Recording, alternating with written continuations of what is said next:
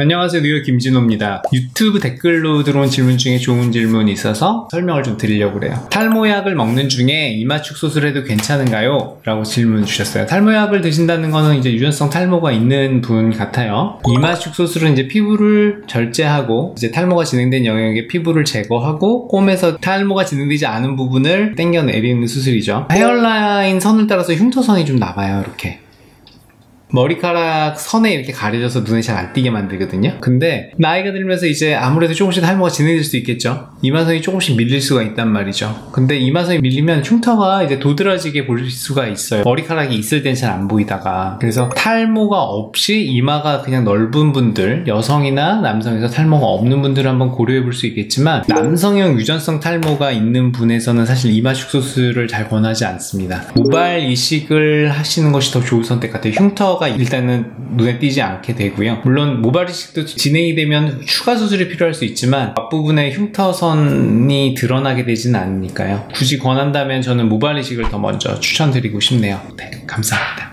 질문 있으시면 저희 네이버 뉴헤어 카페 질문 게시판에 글 남겨주시면 제가 빠르게 답변 드리겠습니다.